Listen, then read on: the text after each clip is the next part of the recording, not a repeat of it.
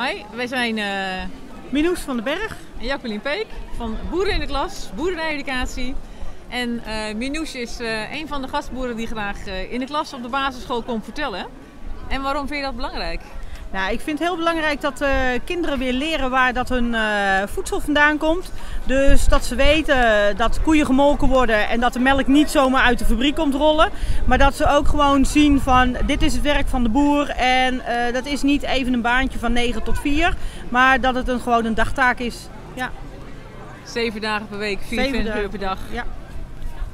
Dus wil je ook graag een boer in jouw klas of desnoods op de boerderij komen? Ga dan even naar boerindeklas.nu en uh, meld je aan of uh, stuur een mailtje als je interesse hebt. En dan uh, informeren wij je graag.